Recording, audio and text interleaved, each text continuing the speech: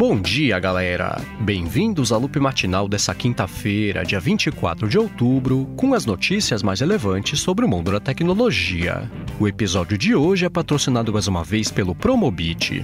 Quem fala aqui é o Marcos Mendes, e hoje no seu Loop Matinal do Loop Infinito eu vou começar fazendo um complemento aqui de uma notícia que eu dei ontem. Eu falei que a Samsung finalmente tinha lançado a TV The Frame por aqui, mas foi a segunda geração que ela lançou, não a primeira. A primeira geração ela já tinha lançado por aqui no ano passado, então esse lançamento da segunda geração né, não foi tão finalmente como eu comentei aqui no episódio de ontem.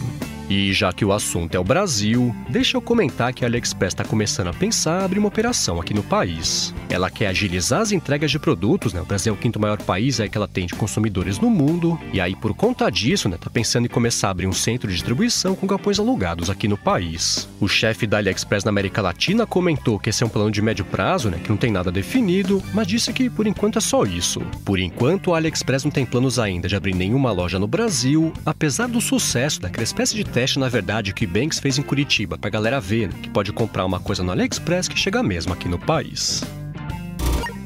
E enquanto isso, nos bastidores do mercado, o vice-presidente de publicidade do Facebook está deixando a empresa. Ironicamente, ele confirmou a demissão dele pelo Twitter e não pelo Facebook, e falou ainda né, que vai sentir falta do pessoal com quem ele trabalhou por sete anos aí da vida dele. Ele vinha ocupando esse cargo de vice-presidente de publicidade do Facebook desde 2014, e nos últimos anos, especialmente, né, se envolveu em polêmicas tanto a respeito de política quanto do próprio Facebook, lá da parte de publicidade. Em 2017, ele tweetou negando que o Facebook usa o microfone do pessoal, né, para conseguir escutar o que a galera tá falando e aí sim mostrar anúncios mais direcionados. E aí no ano passado ele foi retweetado inclusive pelo Trump, quando começou a duvidar daquela investigação, daquela treta toda, né, do compra da eleição lá com a Rússia. Aí mais recentemente, o Facebook começou a aceitar que políticos consigam veicular mentiras, né, pagando lá como anúncio para não ter que passar pela checagem de fatos, e ninguém sabe né, se a demissão dele tem a ver com esse assunto ou se não. Na verdade, ninguém sabe também né, se foi ele que pediu demissão ou se ele acabou sendo demitido,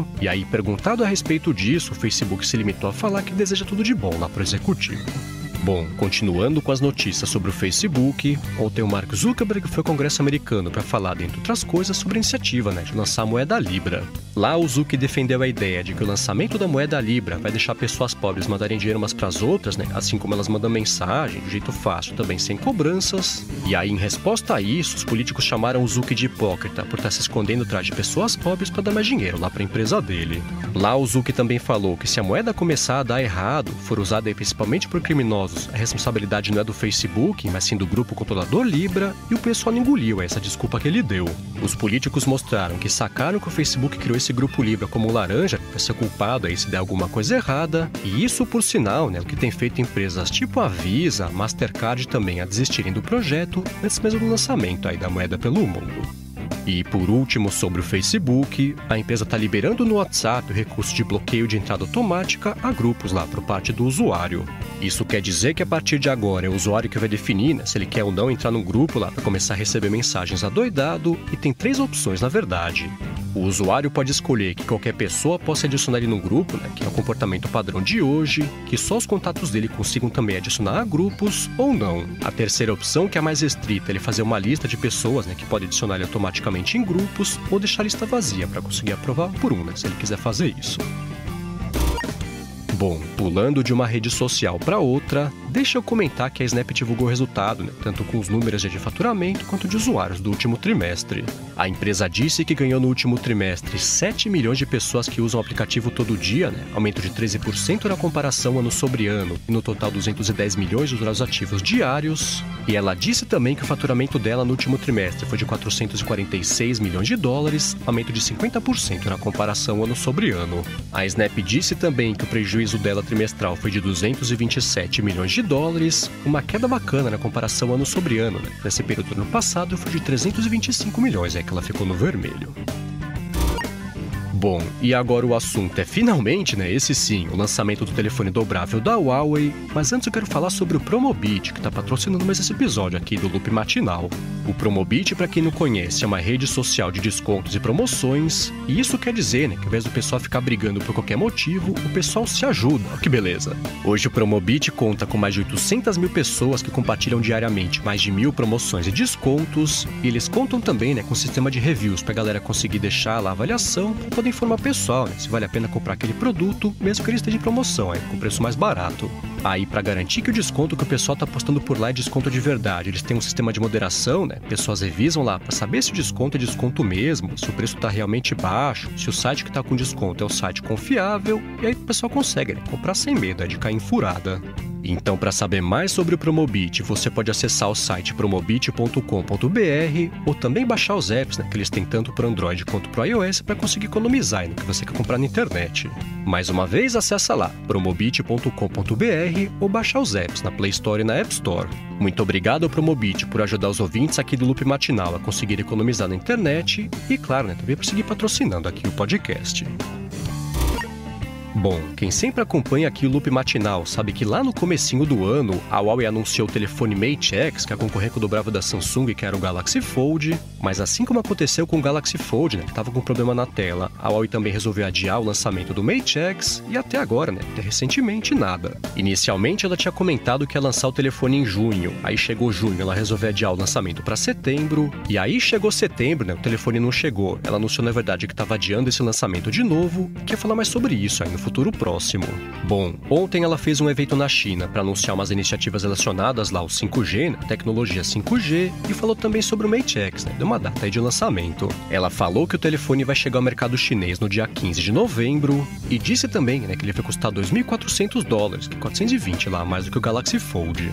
Nesse evento, a Huawei falou também que já ultrapassou a marca de 200 milhões de telefones vendidos nesse ano, né, com 64 dias de antecedência em comparação com o ano passado, mas foi isso. Ela não quis falar quando que ela pretende lançar o Mate X em outros lugares, né? Falou por enquanto só do lançamento da China, mas já prometeu que a segunda geração do telefone vai chegar ao mercado no ano que vem.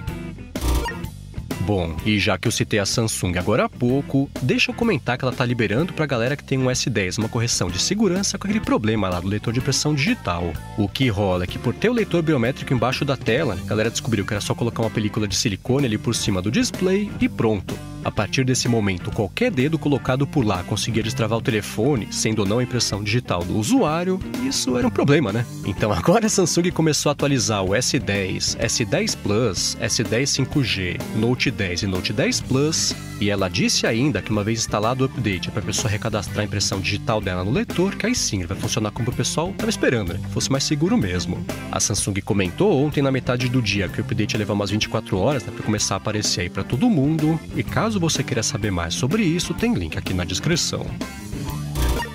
E enquanto isso, no mundo do Google, a empresa anunciou que conseguiu atingir uma eficiência computacional aí que o mercado conhece como supremacia quântica. A empresa falou que conseguiu fazer só em 200 segundos um cálculo que o principal supercomputador do mundo, né, mais rápido do mundo hoje, ia levar 10 mil anos para conseguir completar. E isso, segundo a empresa, né, pessoal do mercado também, é uma coisa que estava faltando para abrir um caminho novo aí, uma nova era da computação mundial. Agora, uma parte curiosa sobre essa história é que a IBM está contestando um pouquinho essa conquista do Google e falou que ela não é tudo isso, aí que a empresa tá a entender. Ela falou que o Google tá roubando um pouco no jogo, né? Que não são 10 mil anos que ia levar para fazer isso, na verdade só dois dias e meio, mas ainda assim concordou, né? Que esse é um passo importante para a computação quântica. Ela só insinuou que na verdade essa conquista do Google nessa revelação, né? Que todo mundo tava esperando e torcendo para que eles tivessem conseguido conquistar, mas ainda assim, né? Se você quiser saber mais sobre essa conquista, tem link aqui na descrição. Bom, e por último, hoje eu vou falar sobre a Apple, que ultrapassou a Starbucks como a dona do método móvel de pagamentos mais usado lá nos Estados Unidos. De acordo com o Instituto eMarketer, a Apple vai fechar esse ano com 30,3 milhões de pessoas que fazem pagamentos usando o celular, isso é 50% do mercado aí de pagamentos móveis. Aí, enquanto isso, né, a Starbucks, que está em segundo lugar, vai fechar esse ano com 25,2 milhões de usuários ativos, né, usando lá o sistema de pagamentos pelo celular para conseguir comprar café, né, usando o aplicativo da Starbucks. Isso é 40% do mercado de pagamentos móveis. O Instituto comentou ainda né, que em terceiro lugar nesse ano vai ficar o Google Pay, com 12,1 milhões de usuários ativos, e depois o Samsung Pay, com 10,8 milhões. O Instituto eMarketer falou que considera um usuário ativo quem fez o pagamento móvel né, pelo menos uma vez aí nos últimos seis meses e caso você queira ver o levantamento completo, tem link aqui na descrição.